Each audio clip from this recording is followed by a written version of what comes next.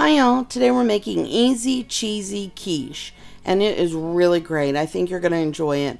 Uh, it's a very simple recipe, no no frills, very easy to do.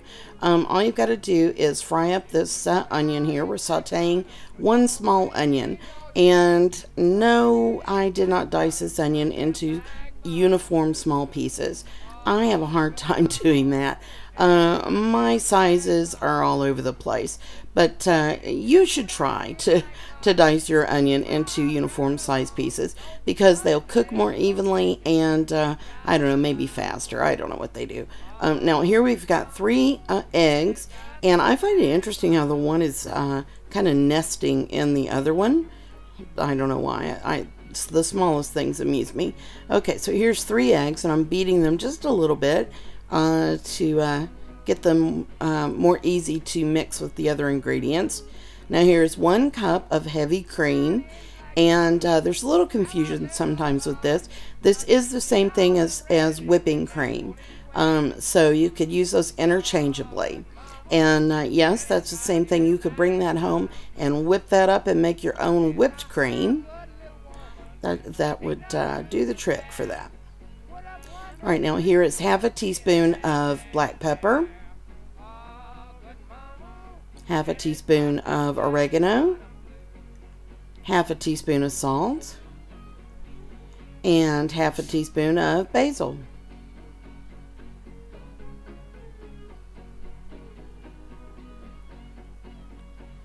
And I really like the the little green specks the oregano and the basil make here. I just, mm, I love it. When this cooks, you can just see it all through it and it just looks so appetizing. It really looks fantastic to me. I, I hope you like it. I, I think it's really great. And, uh, oh, and by the way, go back and watch me put this salt in. Honey, I did not measure that right. I think I measured it and then forgot I did and measured it back into another cup, I mean to the cup again, um, because I had at least double the amount of salt, if not more. That is the saltiest thing I have ever eaten. it was good, I guess, but it was salty. All right, here are the onions making an appearance again. Um, I cooked them until they were pretty brown, but I like them like that, so it's okay. Um, but uh, you don't have to like them like that. Uh, so, uh, and they only have to cook like, you know, maybe four minutes, something like that. Um, but here they are back, back again. And now here's one cup of shredded mozzarella cheese. And uh, cheese is expensive. Um, but I always am looking for it on the buy one get ones because it freezes nicely. Um, so uh, you can stock up. And uh, here's the um, shredded cheddar as well.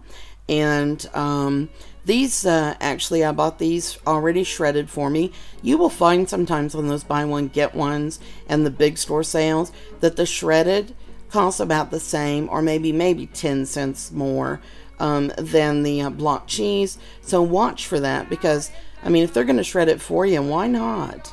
I, I, I have no problem with it um, okay and here is your prepared pie crust and uh, if it's a store-bought frozen crust you want to have it out and thawed uh, and you know room temperature uh, before you use it and uh, we're just pouring the, the filling in that's one unique thing about this quiche recipe. We're not putting in a layer and then like throw, then uh, pouring in the egg mixture over it and then sprinkling in the cheese.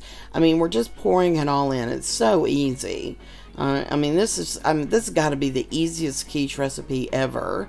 And I don't know why I'm doing this. What am I doing? Like spreading it around. It's all mixed up. There's no spreading.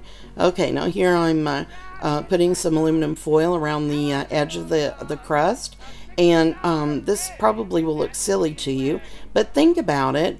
Um, like at Thanksgiving, particularly pumpkin pies, um, the crust is always brown, uh, too brown, sometimes even black, because um, the crust cooks way faster than the filling that's in it. And so it'll burn, and the filling will still be raw in the middle.